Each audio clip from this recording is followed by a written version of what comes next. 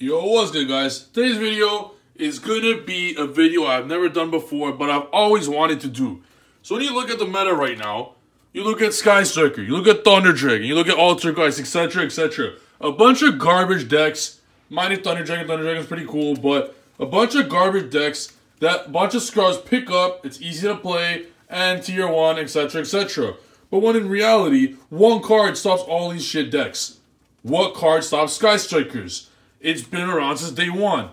Very, very simply, you turbo this card out and you auto win.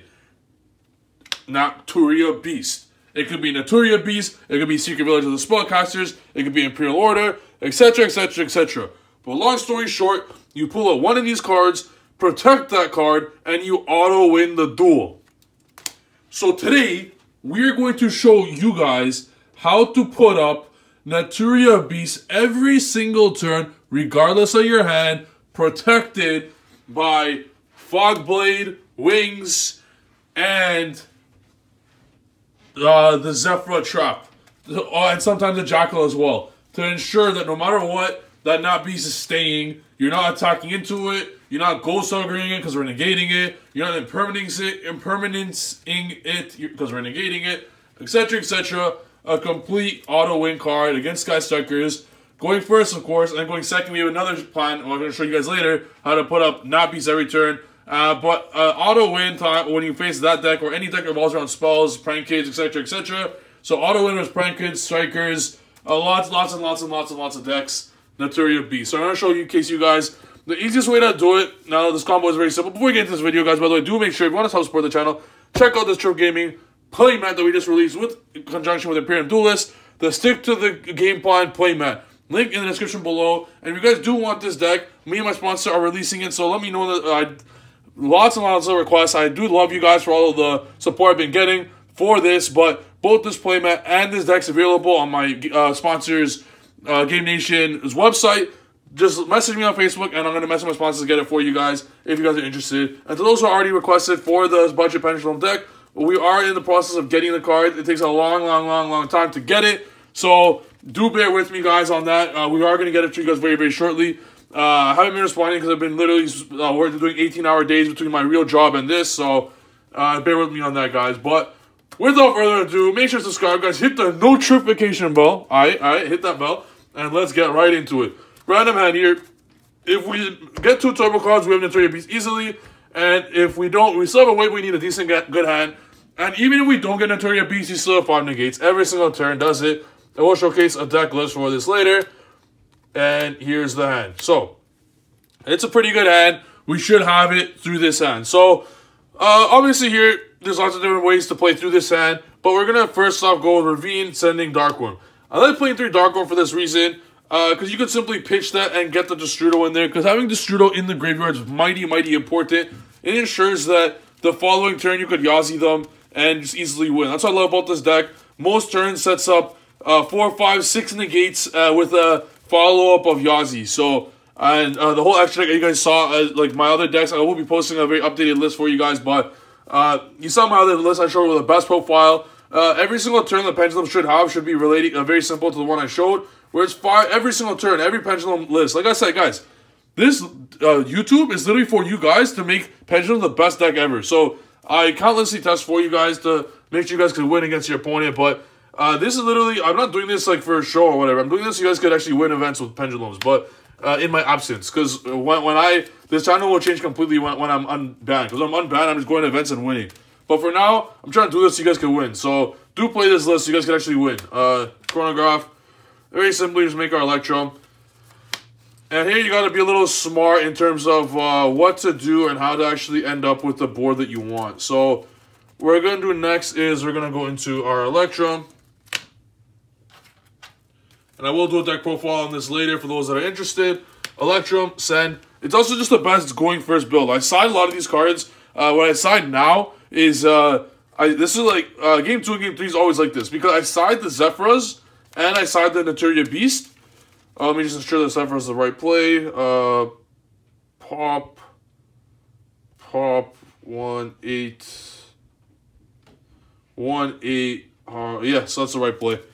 Uh, you just want to ensure, man, at all times that guaranteed for sure, for sure that you're going to uh, end up with uh, the not beast uh, protected with fog blades and with uh, with fog blades and the Zefra chop. So going first, I don't main the beast. I don't main the Zefras.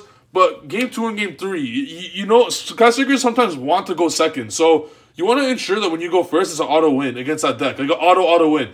And what's the why side cards like twists, etc., etc. Well, you can simply when they're gonna let you go first a lot of games, uh, just side the like you're siding the Zefras anyways. Side Imperial Order. Sorry, sorry. Side the Beast engine. And just four cards or something like that. There's plenty of space in the extra deck. There's absolutely plenty of space. And it just ensures that you're gonna win. But onto the combo real quick. We're not gonna put gate zero in uh in the scale. We're gonna pop the gate zero and we're going to add the chronograph. We get a high scale. We can pen the harmonizing hand. Uh, typically, if we had access to wisdom, we would pop the dragon ravine. Uh, we wanted Sir, uh, Jackal. We pop the dragon ravine, and get Cerberus to still draw. That's how you get even more use of your dragon ravine. Uh, dragon like field spells are broken in pendulum decks because after you use its effect, if you can find a way to select from draw, you get the free uh get the free draw. So we call here. It doesn't matter what we draw. Uh, okay, curtain raiser. It really doesn't matter. We're gonna put purple poison, and we're gonna put chronograph in the scale. Might even better put curtain raiser. Uh, let me calculate here. We pendulum. We pen, or we're gonna put uh, we're gonna put razor in here, saving the chronograph in our hand. Uh, if something were to happen. Uh, now we pendulum the Zefra. We pendulum the Dark Worm, and we pendulum the Harmonizing. Is this correct? No, no, no. Sorry, this is incorrect. This is incorrect. This is incorrect. Oh, okay, okay, okay. We're gonna put the chronograph there. What we should have done is pop the zero to pen summon the purple poison. That's what we should have done, but it's totally okay. We already drew, so we're gonna put chronograph. Poison will stay here, and we're gonna pen summon. So we pen summon Harmo, pen summon Curtain Raiser, pen summon Dark Worm. Perfect. And now harmonizing effect. Bringing out Dragon Pulse. Uh, Zefra effect. Get the counter trap. Putting Purple Poison there. I was a little greedy putting Purple Poison in the scale. Because I forgot about harmonizing and the only way to XYZ harmonizing obviously with another magician. So we probably should have done that. Uh, we should have uh, we should have uh, popped uh, kept the zero in the scale and some of the poison to be able to XYZ, but it's totally fine. It's already done. We already drew, so we don't want to take plays back after we draw. But that was definitely the right play. But it's totally okay. We still have our combo. So after this, we go into King of the Feral Imps. King of the Feral Imps effect. Detach.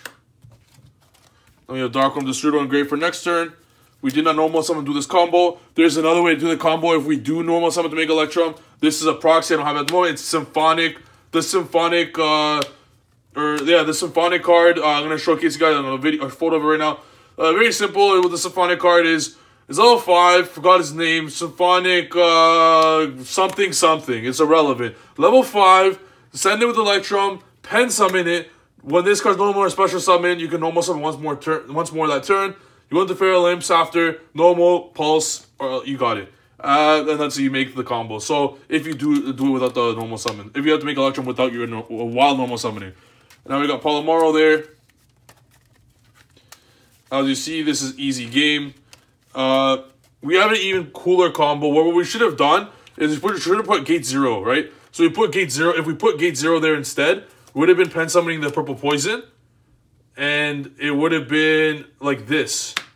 If we did a smart play by popping the gate zero, so just look how. Uh, bear with me for a little bit. If we pop the gate zero, if we made sure to pen summon the poison instead of the zero, does that make sense? So uh, just a smart play. So we still have the combo, but what we're gonna do instead is by King of the Feral Impsing like this. I know it's going back a little bit, but just a bonehead play that I didn't do it before. Uh, so uh, you summon it like this summon this would have been the exact same result just by putting uh poison uh popping poison first instead of popping the gate zero. We are a little greedy to put poison in the scale, just wanting it in the scale for its effect. But we're gonna have no dark spell casters anyways. So this is just overall the smarter play, if that makes sense. And uh so it was a misplay on my end not to do it at the beginning. But it's the exact same result so far, you're not changing anything. Uh next underclock. Right there. Next, you normal summon Palomaro because he didn't normal yet. Pulse will get banished.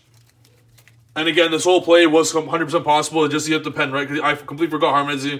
Uh, you're not going to XYZ with harmonizing. So you got it before you make your play, guys. Like, even I'm the pen god, and I still made a mistake there. You really, if you don't think, because I'm concentrating on making the video, you have to think on making the combo before you actually do it. because one card off will, will result in one less of a negate. So, uh, in doing so, you get the Nat Beast now, and your turn's not over. You now uh, Curtain Raiser.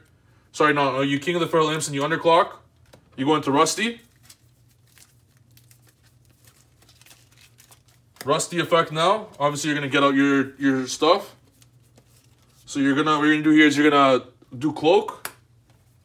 Like the result would have been the exact same. It would have just been a harmonizing on the field instead of a curtain raiser actually. So it would have been the exact same result. But cloak, where you set the uh, the fog blade by sending cloak to grave. You banish cloak, add boots. You special the boots. You special dis- you effect. This is why I love playing cloak and boots. Like you don't just uh, get the two traps. You also get a free monster on board. You'll be absolutely stupid not to play it. And uh, they're drawing them is nice. You just get free cards from it. They're all pluses. Uh, you pen some of them and get pluses. Uh, and then you synchro. Making Dragster. And you banish the boots and you get your last fog blade. So just like that, your turn is Naturia Beast, Dragster, double fog blade, and Zefra Divine Strike. And uh, as you guys see, absolutely busted. Your opponent won't be able to do anything. Good luck playing. Like, good luck playing. You're literally not doing anything. Like, the only way to get rid of... Okay, what are you going to do? Impermanence the Nat Beast? Negate. Would you like to destroy Nat Beast by attacking? You can't attack anymore. And it's just a complete auto win. And next turn, you're going to Yazi them because Ravine stays on board. So regardless of what you draw, you simply draw and discard it with Ravine, sending the drag, the uh, the Destrudo, Destrudo, and uh, Curtain Raiser. You go into Yazi. So before your pen summon, you have a Yazi, and you have all the cards in your extra deck to OTK with them. So it's built in a way where they can't play first turn and going second, uh, you Yazi them. Or sorry, uh, going first still on turn two. After they can't clear it, you just Yazi them. And they somehow find a way to clear anything which they can't. It's you just Yazi them and win. Like Mary Yazi absolutely busted. You need to play even going first, and it's absolutely insane. That's the deck. Uh, going first uh, in every single this is every the competitive list I have right now. But again, you don't main the Nappies, you don't main the Zefra. I always side that depending on the matchup. And uh, also, what I'm debating, I'm thinking to make a, a, a build revolving around Griffin, Order, like you could do the same thing by protecting order. Like order, dragster, Zefra, divine strike is still a game. You're gonna have two negates protecting the imperial order. So I might do that as well. But this is the list right now. Obviously, obliterated strikers and prank kids, and really any deck that really, really, really needs spells. Uh, pendulums, like uh, this absolutely destroys pendulums, like which I do believe from the bottom of my heart is the best deck. It's just that people don't play it. So I'm testing more so for what you're gonna see versus what's actually the best. But absolutely insane list. It really is. Like on top of all that, like you're OTKing them too. Like no one's playing through this whatsoever. No deck in the world. No deck in the world is playing through this. And then you got Yazi them. So because uh, you have the curtain raiser and the Strudo by sending the card you drew, and uh, then after you take care of all this stuff, then you pendulum summon everything and win boil sword, etc., etc. Absolutely insane.